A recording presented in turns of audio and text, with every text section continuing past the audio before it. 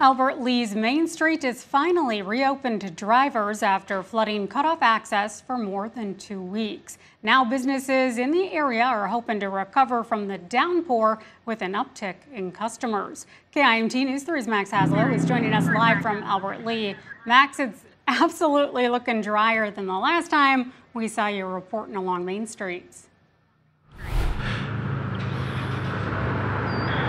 Well, absolutely, Jess. It is much drier here. Most of the uh, rain and the road barricades that came with it have been cleared out, with the exception of a few over by the retention pond. Both retention ponds in this area are still very high compared to where they usually are, but it's still a very welcome sight to all of the businesses in the area that rely on traffic coming through here for any sort of business.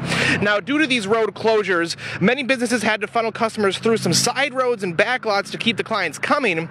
Now, other spots had to close down completely for a short time. Now, Hanson Tire Service was in the middle of all of it, right next to these ponds, and while they had a noticeable dip in visitors at first, they were able to bounce back as time went on.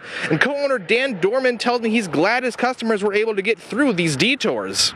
We just want to thank our customers for, uh, you know, understanding and coming through the back lot. And nice thing about being a small town, people people can figure that out. I mean, it took some people. We do some some business with uh, trucks or things coming off the interstate. A little more challenging for them.